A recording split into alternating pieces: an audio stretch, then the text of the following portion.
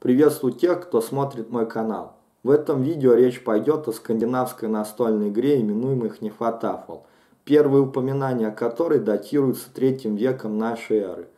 В эпоху викингов игра распространилась в Гренландии, Исландии, Уэльсе, Британии и, возможно, даже появилась в Киевской Руси, где она именовалась Тавлеей. При раскопках были обнаружены доски с нечетным количеством полей, размер которых начинался от 7 на 7 и заканчивался 19 на 19 клеток. В качестве материала использовалось дерево. Для изготовления фигур использовали янтарь, дерево, кость, а также камни. Достоверных правил игры Фнефатафл на данный момент не сохранилось. Есть предположение, что в некоторых версиях использовали кубики. По расположению фигур сразу можно понять, что черная и белая сторона имеют разные задачи в партии. Грубо говоря, это имитация окружения.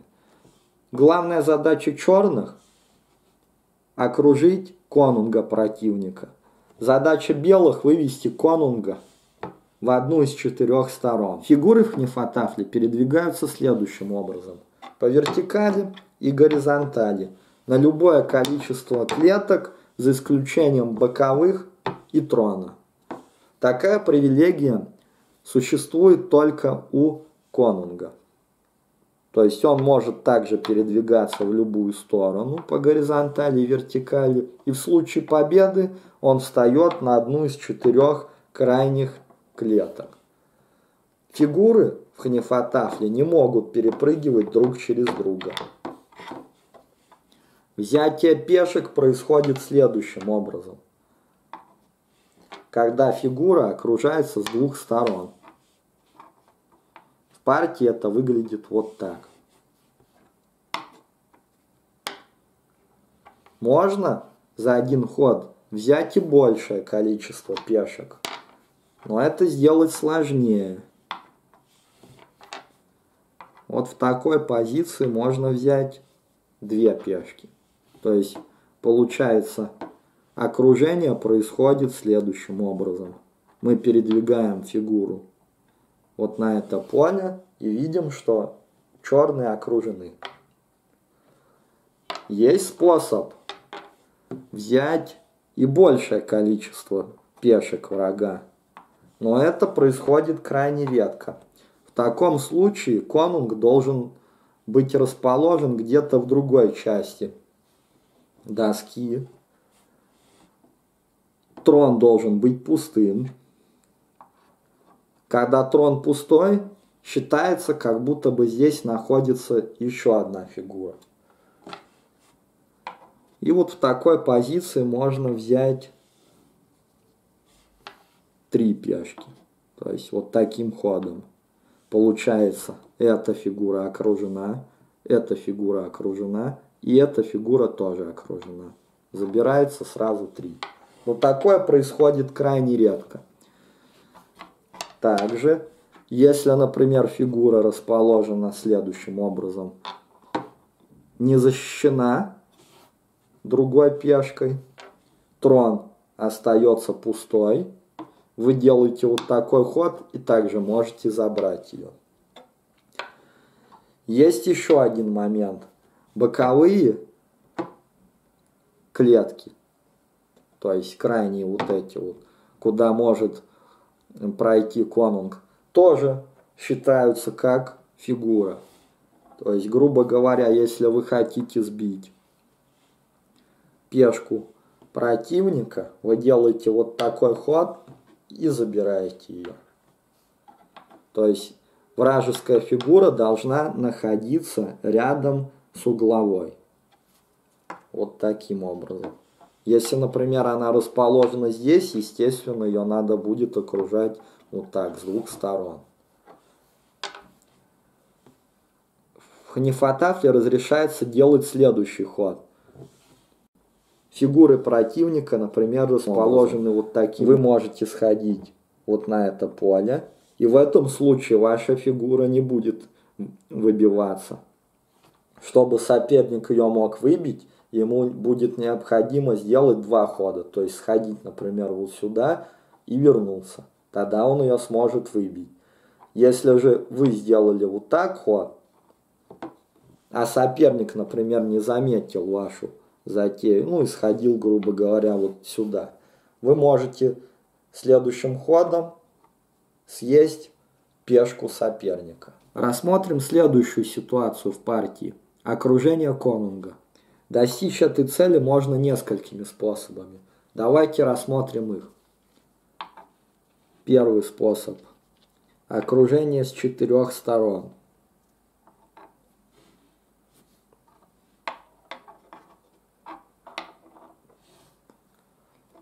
Второй способ. Если рядом с конунгом стоит одна из его фигур.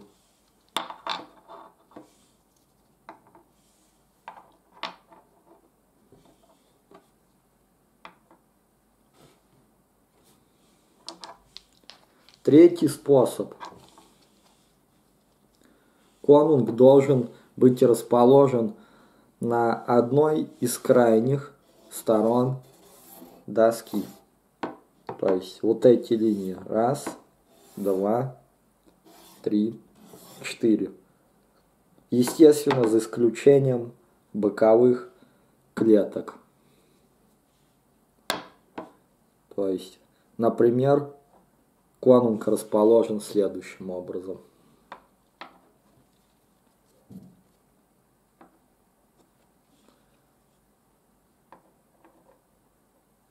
Получается он окружен с трех сторон пешками и здесь край доски. Победа присуждается в этом случае черным.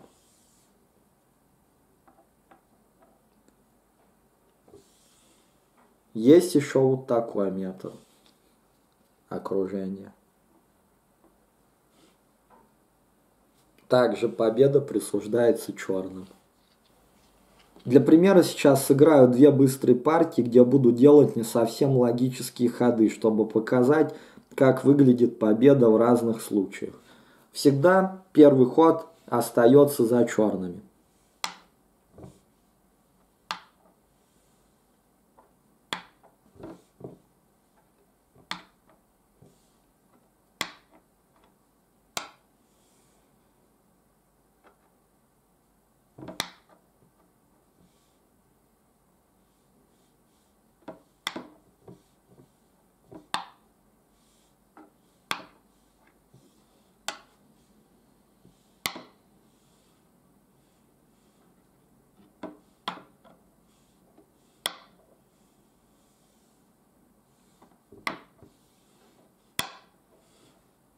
Белый конунг добрался до цели, партия осталась за белыми.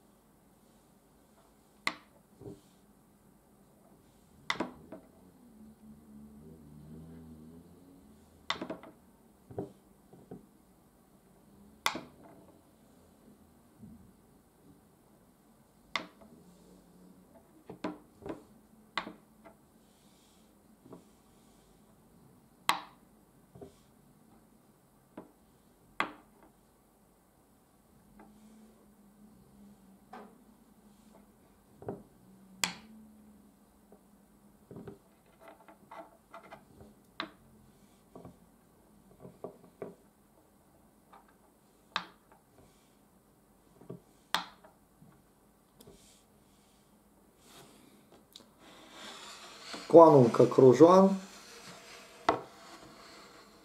Победа за черными. Если вам интересны другие правила игры в Нефатафл, вы можете установить одноименное приложение в Play Market в Android и узнать о них более подробно. Для этого устанавливаете само приложение, заходите в раздел «Локальные игры», выбираете себе соперника, от легкого и заканчивая сложным выбираете сторону, а также выбираете правила игры. Здесь их очень много.